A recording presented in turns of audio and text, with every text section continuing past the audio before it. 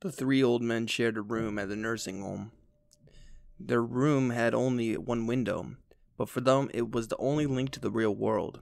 Ted Conklin, who had been there the longest, had the bed next to the window.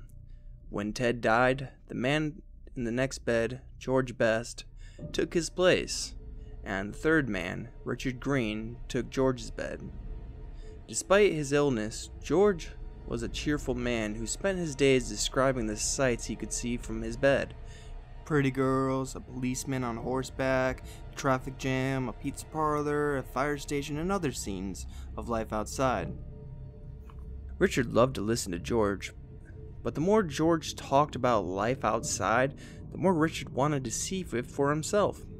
Yet he knew that only when George died would he have his chance.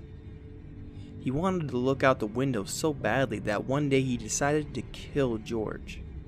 He was going to die soon anyway, he told himself. What difference would it make? George had a bad heart.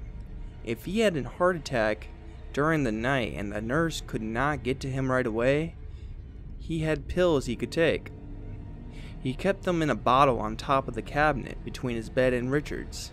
All Richard had to do was knock the bottle to the floor where George could not reach it.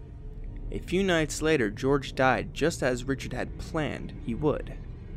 And the next morning, Richard was moved to the bed by the window.